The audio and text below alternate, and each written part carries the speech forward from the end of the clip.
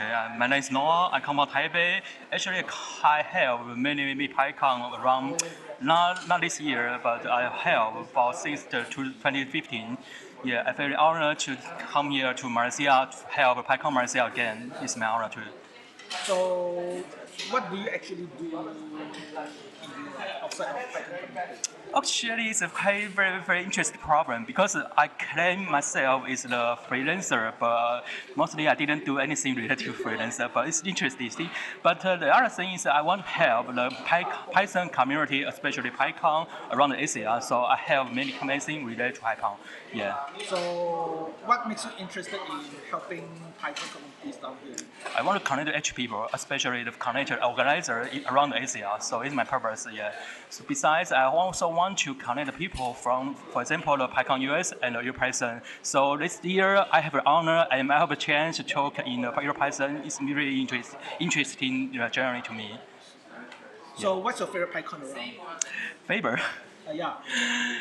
I think this question is it's kind of uh, your parent ask you, do you like a father or you like a mother? Okay. it's so, very which is the most interesting title?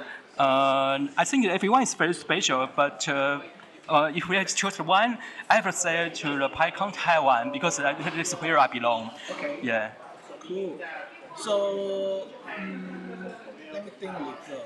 What? Okay, so Yeah, what do you think about PyCon around Asia. Yeah, in general.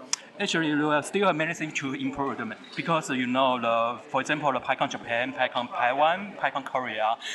I didn't say they are a rich community, but they really do. They are amazing job. It means uh, you can can include more many people, more, many- more uh, so many frontier to help the conference.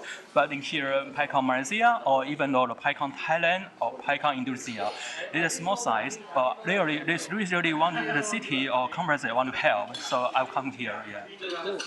So, anything else you want to say before, before we're done with this? Oh yeah, I want to say that everybody can be join the community, and also everyone can join to the other PyCon, not only the PyCon you, the, the city you belong. So it means that you have a chance to go to PyCon Malaysia, PyCon Thailand, or Py- PyCon Philippines.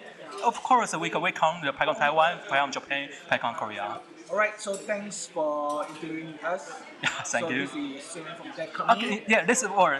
I said a great about something about Gradle. We are very thanks for you what you do for Python, and we will missing you in the future. Thank you. Alright, So, thanks for the interview.